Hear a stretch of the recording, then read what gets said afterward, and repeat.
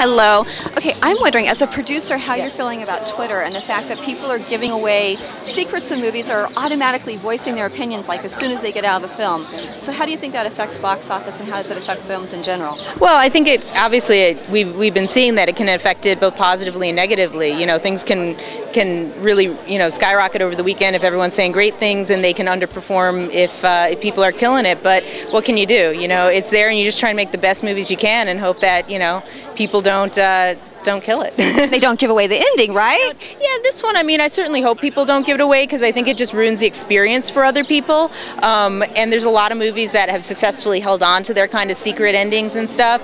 Um, but I do think it's a well crafted enough movie that even if people do go in knowing, I think it'll be fun watching with that knowledge. So you can kind of have the best of both worlds. So if you're fortunate enough that someone didn't ruin it for you, you can enjoy it. And uh, if they did, just watch, you know, kind of look back with those things in mind. As busy as you guys are, how do you pick your projects at this point?